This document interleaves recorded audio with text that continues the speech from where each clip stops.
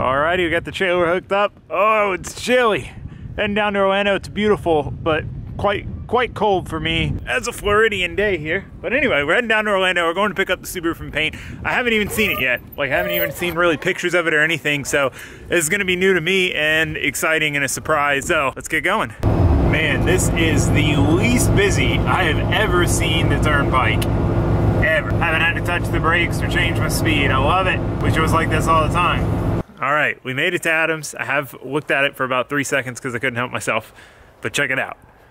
Look at that. It's crazy because like seeing the color before, where the clear coat was peeling before, obviously it looked bad, but where the peel clear coat wasn't peeling, you know, it was like more of like a, a different color. It didn't look anywhere near this good.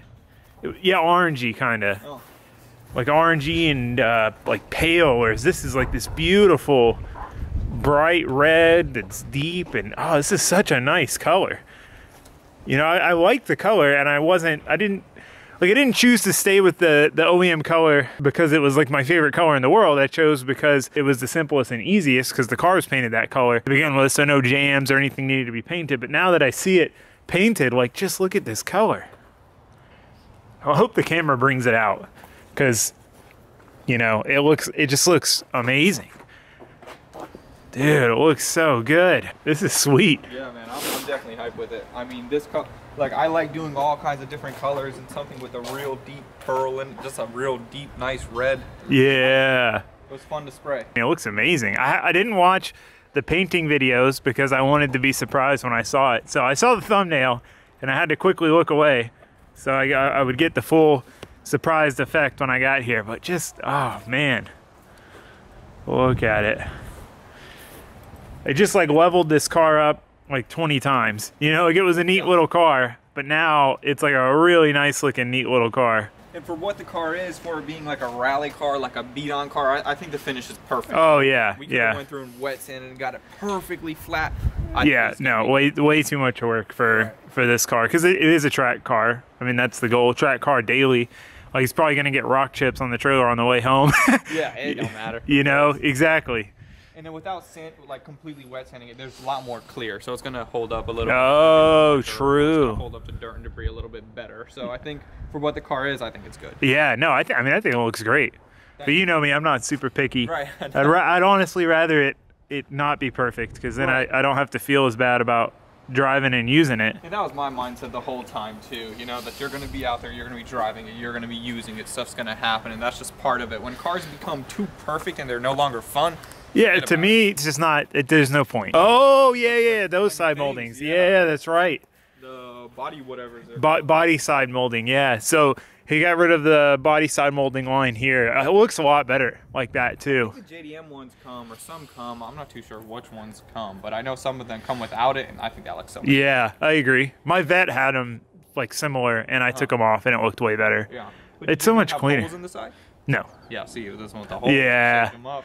Yeah, yeah, that's right. Yeah, I almost forgot about that part. Yeah. Like, I don't know why they wouldn't have just left this nice line from the factory. Oh yeah, you can really see the color up here because of the like you've got the multi layers of light. You've got the light shining directly down. You can see all the pearl, and then the light, the little shadows. You can see the depth of the color. Oh man, it just looks so good. I can't wait to drive it now.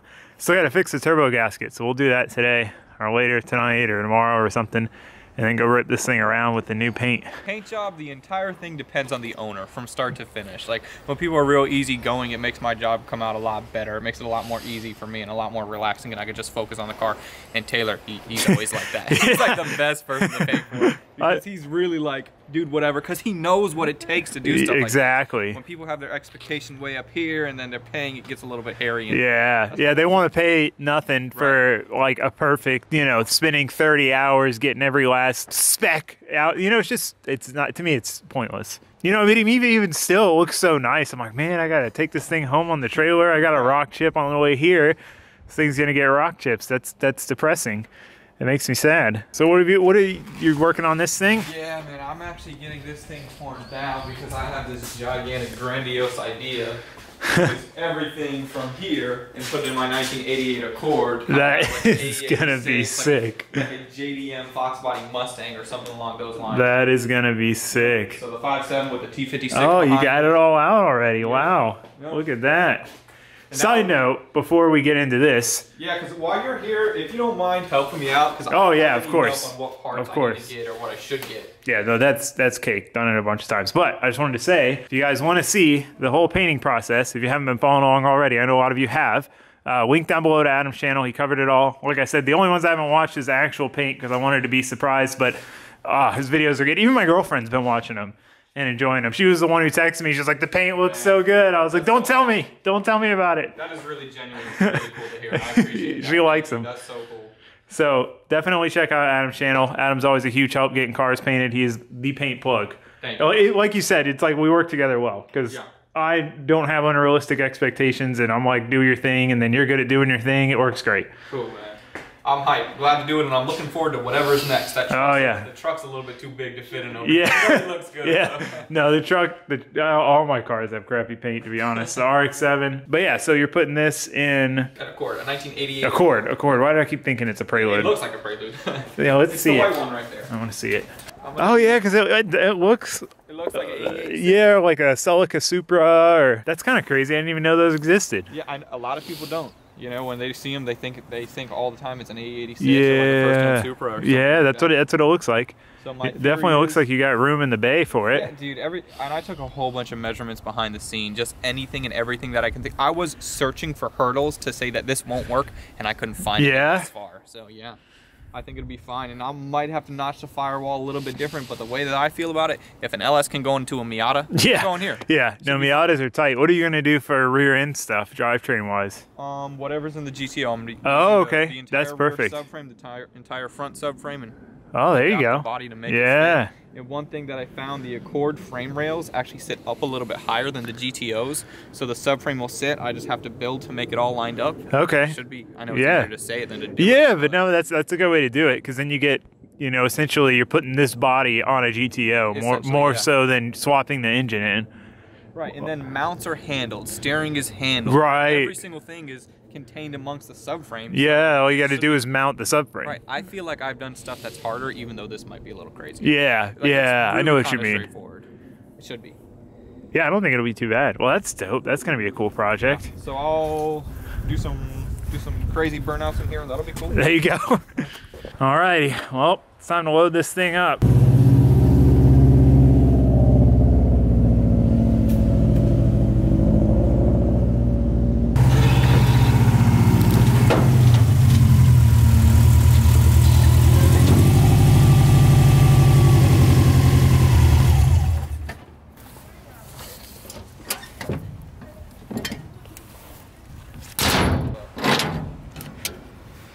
Look at that. It's so nice. Just when I was just driving it over here just now, like looking out over the hood and seeing nice paint, you know, because that's been one thing about this car. I'm like, I like this car, and it's like it's a pretty solid, nice little car. There's no rust. There's very minimal body dings and dents, but it, you know, kind of just looks like trash. Like its clear coat's peeling real bad. It kind of rattles and whatever. Whereas now it's like it's a sharp looking car.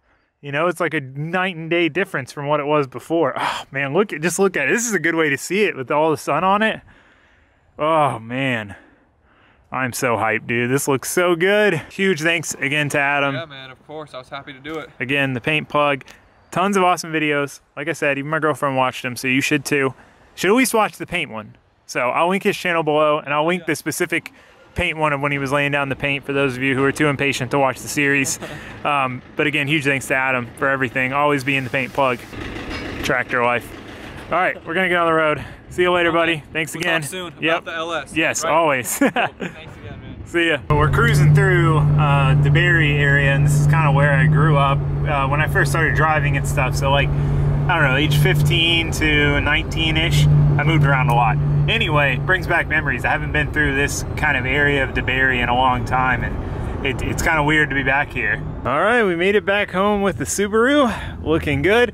So last night we had a cold snap. It got down to about 28, and since we live in Florida and track our- cars and stuff, uh, most of my stuff doesn't have coolant in it. Like my truck is I think the only thing that has coolant in it in the Zafira, which only has coolant in it because I didn't change it. But every other car I'm going to take on the track, so I fill them with water because if they spill, you're not supposed to have coolant in there. And, uh, you know, we live in Florida. It's not normally a problem, but it got below freezing. And though it probably wouldn't have mattered, I ended up, once I got home and unloaded the car, I ended up warming up every, all of my cars to, uh, just to get them up to operating temp so that they'd have longer before they got super cold overnight. Because it was, it was under, below freezing for like eight hours last night, which is real weird for us here in Florida. But anyway, I also had to push the Miata into the shop because I can't start it because I had to send my PMU wiring distribution module out. And uh, yeah, so I put it in here to keep it nice and toasty. But now we got to move it back out, get the Subaru in here, get it up on the lift, and we can start pulling the exhaust off and try to fix our exhaust leak. And then hopefully go for a proper rip with no exhaust leak. That's the goal.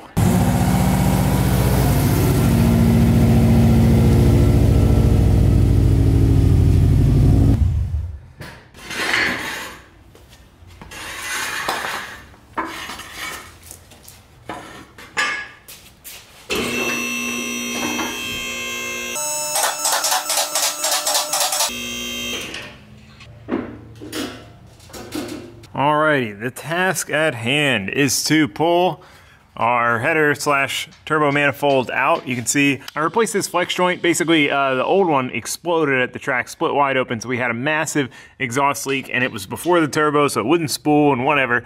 So anyway, I, I welded that new V-band in, got that all set up, and then we put it all back together, and then now we've got a leak out of our flange going from our pipe here to our turbo. So right between the two at the front, it's leaking. I, I tried taking it apart, copper spraying it, cleaning it. I don't know if we've got warped flanges or what's going on, but I've got a couple plans to try. So first thing we gotta do is pull this unit out so we can swap the new gaskets in.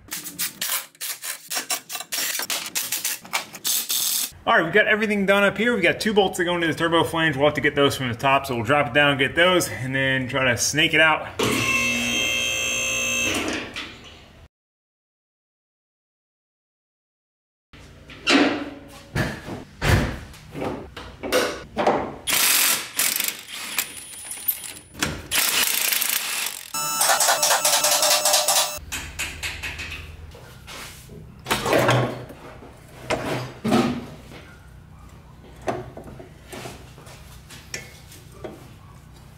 You can see the black mark here where this was leaking. It was definitely leaking here. That's at the front between these two.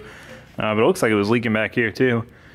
Leaking everywhere. So I got two new ones. I'm trying to decide if I want to try the one first or just stack them. The reason for getting two and stacking them would be if the flange is warped, which I feel like it's got to be for how bad this was leaking, give me some extra thickness to soak up that warpage.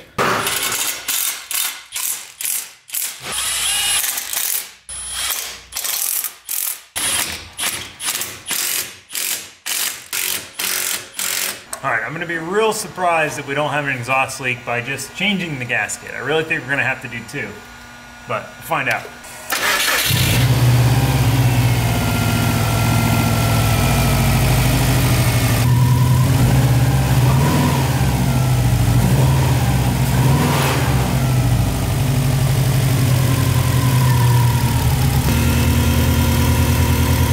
Well, it doesn't seem to be leaking. It definitely isn't leaking between those two bolts as far as I can feel before you could literally just feel the air with your hand coming out. Um, and I felt around as much as I could. Obviously, it's hot while it's running. Uh, but I felt around as much as I could. I couldn't really find any other leaks. It looked like the the gaskets where it bolts to the head, those showed signs of leaking. So I'm going to order some of those and replace those because those are easy enough to replace. And it seems like new gaskets did the job on this. So uh, still a few th more things to tidy up. I want to do a coolant uh, overflow. I think I have something lying around I could use, or I'll order something. I want to make battery tie down get my air filter box back in. But before we do all that, I want to go drive it and uh, see how it is with the exhaust leak potentially fixed.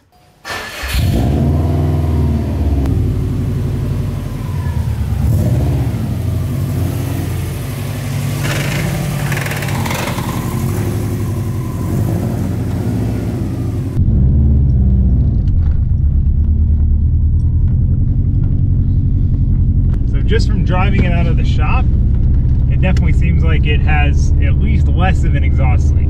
Uh, the only thing that sucks about having this car nice and painted is I'm afraid to mess it up.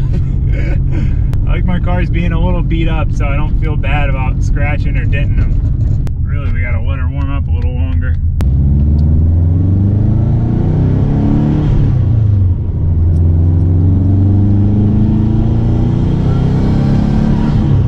Oh, it seems way smoother. It's coming into boost, no problem. It feels weird driving this thing. It's been a while.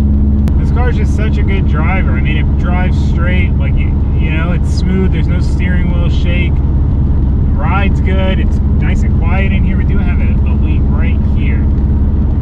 That drives me insane. Oh, I think no, I didn't get it.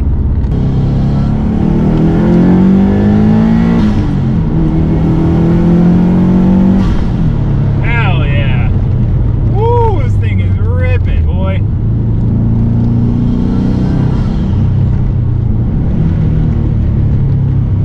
I need to watch this wideband. So this wideband essentially quit working when we were at the track because we had a massive exhaust leak. So a lot of that exhaust was bypassing it and it was sucking in fresh air more or less. Um, and it was reading that it was really lean.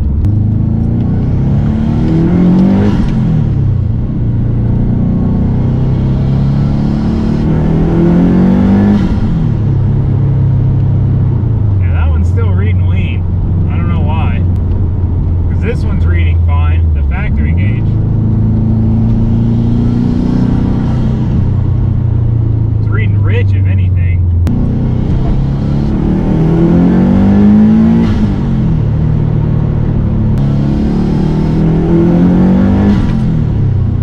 Success!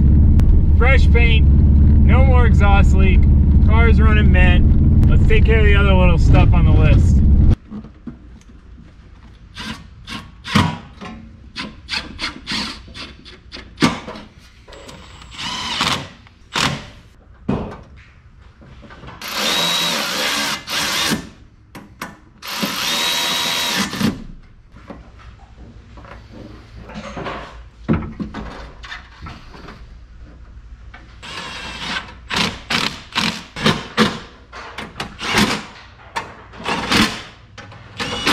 All right, we got our Mishimoto airbox shield deal back in, trying to keep basically the heat out of the intake from back there because we got the turbo right there.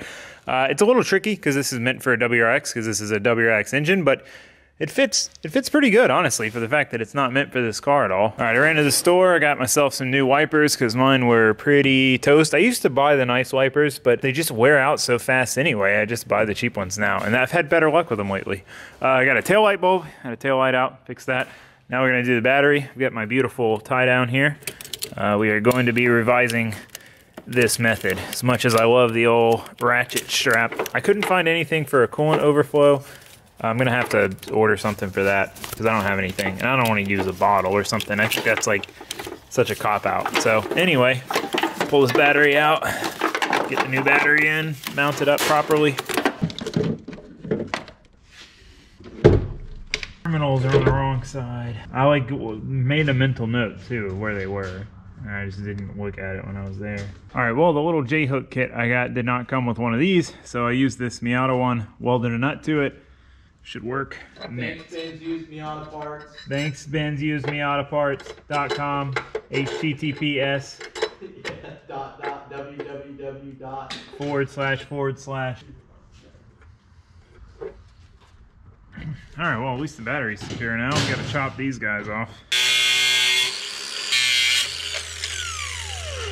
All right, well, unfortunately, our new battery didn't work out, so I'll have to get a different new battery, one with the terminals on the correct side. But got it mounted, so that's good. And you can probably hear the Zafira out there idling, so I put the battery in the Zafira. I needed to buy one for it anyway, so it kind of worked out. So Mishimoto recently came out with turbo blankets, so I wanted to try this T25 one on here and see if I could get it to fit. It's not quite, you know, gonna be right for this turbo, but I feel like I could make it fit. Look at that. We're gonna need some safety wire, but man, that thing is thick. It's a beaut. Let's put it on. Or should I say, attempt to put it on. Probably gonna have to pull this wastegate actuator. Yeah, that's our one problem. It's the wastegate actuator. Let's see if we can get it under it. Come on. There we go. We're getting there. That's cool. They even give you the little spring things. We got it on there fitting decent. The wastegate actuator arm is, is really kind of screwing us over from it fitting nice and not looking so goofy because it's tucked around that. I guess I could cut for that and then hook the actuator back up. We'll leave it like this for now and move on. All right, so the last thing I want to do, this will be pretty interesting. So I was cruising Facebook Marketplace, like all bad decisions start with, and uh, came across this set of scales for super cheap. And I thought about it, and I've been wanting to buy a set of scales for a while. Uh, I just can never justify it. Like I want to be able to corner balance my car, and I really just want to know what some stuff weighs. I really want to know what my LS Miata weighs because I weighed it before the LS swap, and I have the front to rear and everything. So I really wanted to see how that changed with the LS, but I don't really know anyone with scales, so there's no way for me to do that. So anyway, moral of the story is I wanted to buy a set for a while, but I couldn't justify shelling out 1200 1300 bucks for a set. So I found this for super cheap, and uh, yeah, obviously I couldn't resist. And now we have scales, so we can weigh all the cars. So we're gonna start with the Subaru, because it's inside. We'll weigh the Miata next time we bring it in the shop to work on it, but let's see what this thing weighs. Any guesses? Post your guesses in the comments below. No looking, no looking. Post them below.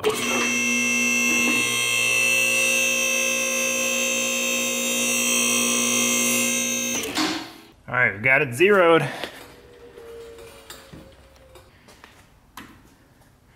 Not bad.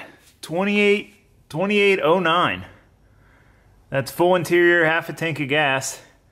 You can see why Subaru's understeer though. Yeah, 60% front, 40% rear. That's pretty wild. That's definitely very front biased. I guess that's more standard for like front wheel drive cars and all wheel drive cars. I'm used to rear wheel drive cars being close to 50 to 50, most of them. 2809, not bad at all, man. Not bad at all. It's pretty even too. Uh, when I'm in it, it'll probably change a lot, so we'll need to corner balance this thing too. What I'm gonna need to do is build some stands for it, basically, so I can set the scales on top of some stands and then be able to get under the car and adjust the coilover, the sway bar, or whatever I need to do to get it where I want it without having to like lift it up, adjust it, bring it down, set it again, lift it up, adjust it, set it down. So anyway, that's super cool. I'm really excited to weigh more stuff. I want to weigh the RX-7, the Miata, the Zafira would be a fun one. Oh, I think these are rated to 1,100 pounds each, so I should be able to weigh my truck. I don't know. I nerd out about stuff like this. You know, there's so many cars where I've always wanted to know the weights from, and it's hard to rely on the internet. You don't know if that stuff's true or not. Because, I mean, I think it said that these are like 2,800, and that's with the stock motor, and this is a turbo motor, so it's got more stuff going on, and it's 2,809. And like I said, I mean, that's full interior, trunk, everything, everything. So, and I got a helmet back there. Let's let's take that out. Let's uh let's get a little more accurate here. Take the helmet out. 2806, that's what I'm talking about. oh man. All right, well, that's enough fun for the past couple days. We got this thing back from paint, fixed the exhaust leak, fixed some other stuff, got it running good, weighed it. I mean, I'm hyped, man, I'm hyped. So we've got a few more little things to do to this car and then obviously bigger things planned down the road, but to, to get it tidied up, like rear camber plates, because I need to add some rear camber for both function and form, coolant overflow, you know, little stuff, little stuff. Anyway, we're going to be working on the LSRX-7 and the LS Miata this week as well. We might even dive into the Zafira while we're waiting on parts for the Fummins build, so should be a fun week. I uh, hope to see you guys back. Uh, thanks for watching, thanks for subscribing. I'll see you next time. Hopefully. Goodbye.